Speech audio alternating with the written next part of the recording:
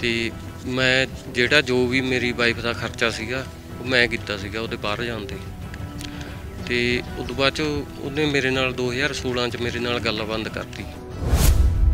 ਮੈਂ ਇਹੀ ਮੰਗ ਕਰਦਾ ਮੇਰੇ ਜਿਹੜੀ ਮੇਰੇ ਨਾਲ ਹੋ ਹੋਊਗੀ ਹਨਾ, ਹੋਰ ਕਿਸੇ ਤੇ ਮੁੰਡੇ ਨਾਲ ਨਾ ਹੋਵੇ।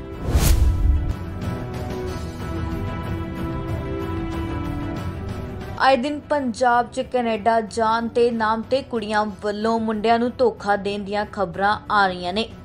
ਪੰਜਾਬ ਦੇ ਨੌਜਵਾਨ ਵਿਦੇਸ਼ ਜਾਣ ਲਈ ਹਰ ਹਿੱਲਾ ਕਰਦੇ ਨੇ, ਪਰ ਉਹ ਕਈ ਵਾਰ ਧੋਖਾ ਧੋਖਾਧੜੀ ਦਾ ਸ਼ਿਕਾਰ ਵੀ ਹੋ ਜਾਂਦੇ ਨੇ।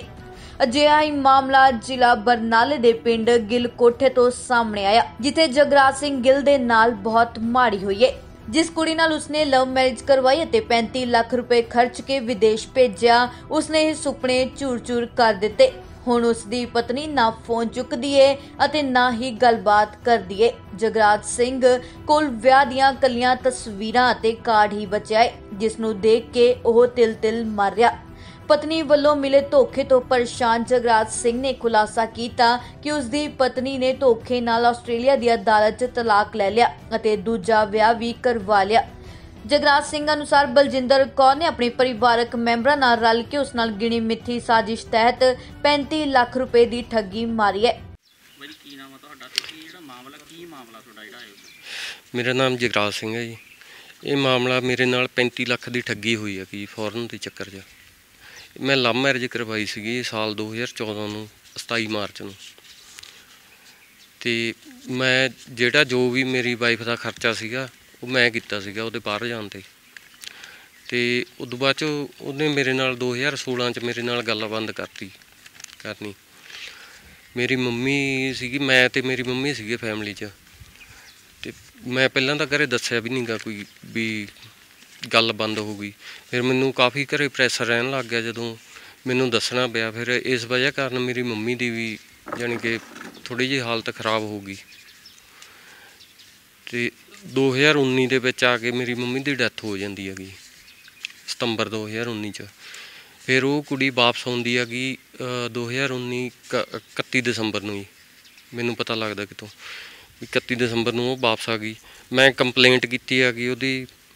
ਜਦੋਂ ਕੰਪਲੇਂਟ ਕਰਨ ਤੋਂ ਬਾਅਦ ਦੋ ਤਿੰਨ ਬ- ਦਿਨ ਬਾਅਦ 'ਚ ਹੀ ਉਹ ਵਾਪਸ ਚੱਲ ਜਾਂਦੀ ਹੈ ਜੀ ਮੈਨੂੰ ਪਤਾ ਲੱਗਦਾ ਵੀ ਉਹ ਮੈਰਿਜ ਕਰਵਾ ਕੇ ਗਈ ਆ।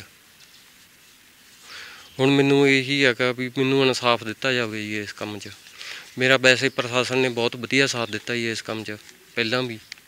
ਮੈਂ ਇਹੀ ਮੰਗ ਕਰਦਾ ਮੇਰੇ ਜਿਹੜੀ ਮੇਰੇ ਨਾਲ ਹੋਊਗੀ ਹਨਾ ਹੋਰ ਕਿਸੇ ਤੇ ਮੁੰਡੇ ਨਾਲ ਨਾ ਹੋਵੇ ਵੀ ਮੈਨੂੰ ਮੇਰਾ ਇਨਸਾਫ ਦਿੱਤਾ ਜਾਵੇ ਬਸ ਜੋ ਵੀ ਹੈਗਾ। ਉੱਥੇ ਦੂਜੇ ਪਾਸੇ ਪੁਲਿਸ ਵੱਲੋਂ ਐਸਐਸਪੀ ਬਰਨਾਲਾ ਨੂੰ ਦਿੱਤੀ ਗਈ ਦਰਖਾਸਤ ਦੇ ਆਧਾਰ ਤੇ ਬਲਜਿੰਦਰ ਕੌਰ ਪਿਤਾ ਬਿੱਕਰ ਸਿੰਘ ਮਾਤਾ ਸੁਖਪਾਲ ਕੌਰ ਭਰਾ ਪਰਮਿੰਦਰ ਸਿੰਘ ਵਾਸੀ ਅਸਪਾਲ ਖੁਰਦ ਤੇ ਪਰਚਾ ਦਰਜ ਕਰ ਲਿਆ ਗਿਆ ਹੈ ਇਸ ਸੰਬੰਧੀ ਇੱਕ ਦਰਖਾਸਤ ਜਗਰਾਜ ਸਿੰਘ ਸਨ of ਬਲਵਿੰਦਰ ਸਿੰਘ ਗਿੱਲ ਕੋਠੇ ਸੈਣਾ ਵੱਲੋਂ ਦਿੱਤੀ ਗਈ ਸੀ। ਜਿਸ ਦੇ ਸਬੰਧ ਦੇ ਵਿੱਚ ਮੁਕੱਦਮਾ ਨੰਬਰ 42 ਅੰਡਰ ਸੈਕਸ਼ਨ 420 ਅਬਲੀਗ 120 ਵੀ ਆਈਪੀਸੀ ਥਾਣਾ ਸੈਣਾ ਵਿਖੇ ਦਰਜ ਰਜਿਸਟਰ ਹੋਇਆ ਹੈ। ਬਲਜਿੰਦਰ ਕੌਰ ਬਲਿੰਗ, ਬਿੱਕਰ ਸਿੰਘ, ਸੁਖਪਾਲ ਕੌਰ ਤੇ ਪਰਮਿੰਦਰ ਸਿੰਘ ਦੇ ਖਿਲਾਫ ਆ ਜੋ ਵੀ ਪੜਤਾਲ ਚ ਤੱਥ ਸਾਹਮਣੇ ਆਉਣਗੇ, ਉਸ ਦੇ ਆਧਾਰ ਤੇ ਅਗਲੀ ਕਾਰਵਾਈ ਕੀਤੀ। Bureau report Sanjh TV. ਜੇਕਰ ਤੁਸੀਂ ਮਰਦਾਨਾ ਕਮਜ਼ੋਰੀ ਤੋਂ ਹੋ ਪਰੇਸ਼ਾਨ ਜਿਵੇਂ ਨਸਾਂ ਦੀ ਕਮਜ਼ੋਰੀ ਸੈਕਸ ਇੱਛਾ ਦੀ ਕਮੀ ਬਚਪਨ 'ਚ ਕੀਤੀਆਂ ਗਲਤੀਆਂ ਧਾਤ ਸ਼ਿਕਰ ਪਤਨ ਘੱਟ ਸ਼ੁਕਰਾਣੂ ਜਾਂ ਪਿਸ਼ਾਬ ਨਾਲ ਵਿਰਜ ਆਉਣਾ ਤਾਂ ਹੁਣ ਘਬਰਾਉਣ ਦੀ ਨਹੀਂ ਲੋੜ। ਤੁਹਾਡੀ ਹਰ ਬਿਮਾਰੀ ਦਾ ਇਲਾਜ ਕਰਨਗੇ ਡਾਕਟਰ ਲਲਿਤ ਵਰਮਾ। ਹੁਣ ਕਦੋਂ ਤੱਕ ਗੁਪਤ ਰੋਗਾਂ ਨੂੰ ਛੁਪਾਉਂਦੇ ਰਹੋਗੇ? ਉਮਰ ਹੋਵੇ 25 ਜਾਂ 80 ਸਾਲ। ਦਰ ਦਰ ਨਾ ਭਟਕੋ। ਅਸੀਂ ਕਰਾਂਗੇ ਸਫਲ ਇਲਾਜ। ਅਨੇਕਾਂ ਡਾਕਟਰ ਹਕੀਮਾਂ ਤੋਂ ਪੁੜੀਆਂ ਖਾ ਕੇ ਤੰਗ ਆ ਚੁੱਕੇ ਮਰੀਜ਼ ਅੱਜ ਹੀ ਆਓ। ਤਾਕਤ, ਜੋਸ਼ ਅਤੇ ਜਵਾਨੀ ਲਈ ਆਖਰੀ ਉਮੀਦ। ਵਰਮਾ ਆਯੁਰਵੈਦਿਕ ਦਵਾਖਾਨਾ ਨਾਈਆਂ ਵਾਲਾ ਚੌਂਕ, ਫਗਵਾੜਾ। ਹੁਣੇ ਫੋਨ ਕਰੋ 98144 66471 98150 66471